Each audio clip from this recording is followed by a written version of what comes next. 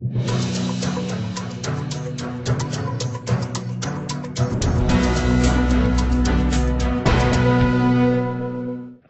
किसी की आलोचना नहीं कर रहा हूँ, पर इसको राष्ट्रीय बहस का मुद्दा बनाना बहुत ज़रूरी था।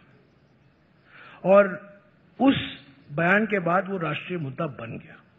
मैं कोई श्रेय नहीं लेना चाहता हूँ, पर आज सभी लोग शौचालयों की बात कर रहे हैं। और मेरा यही मकसद था। विद्या बालन को मैंने ब्रांड एम्बेसडर बनाया।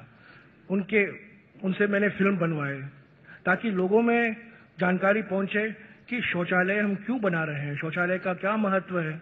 और विद्या बालन को मैं बहुत धन्यवाद देता हूँ कि करीब डेढ़ साल तक उन्होंने खूब मेहनत की। बैतूल, शिवराज सिंह जी को याद होगा, बैतूल ज़िले में एक गोंड औरत थी, अनीता नारे। वो अपने ससुराल गई और दो दिन वाप, बाद वापस लौट आई क्योंकि उनके ससुराल में शौचालय नहीं था। विज्ञान भवन में मैंने अनिता नारे को तत्कालीन राष्ट्रपति से एक पुरस्कार से सम्मानित किया था और उसके बाद मंत्रालय से एक हमने नारा दिया शौचालय नहीं तो दुल्हन नहीं। और उस नारे से हरियाणा के ग्राम पंचायतों में हरियाणा में जहाँ बड़ा मुश्किल है काम करना, क्योंकि वहाँ, आप जानते हैं, वहाँ खुले में शौच करने की महिलाओं की संख्या बहुत ज़्यादा थी। आज, ढाई साल बाद, हरियाणा के करीब 25 प्रतिशत ग्राम पंचायत खुले में शौच मुक्त हुए हैं।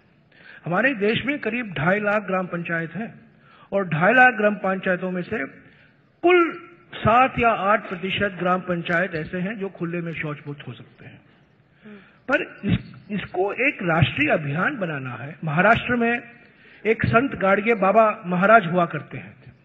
और संत गाड़गे बाबा महाराज गाँव गाँव जाते थे और कहते थे आपकी मुक्ति शौचालय में है। आप साफ़ घर रखिए शौचालय का इस्तेमाल कीजिए भगवान आपको सुरक्षित रखेगा। यही भावना हमें जगानी है हमारे देश में। अगर हमें 10 साल में भारत को खुले में शौच मुक्त बनाना।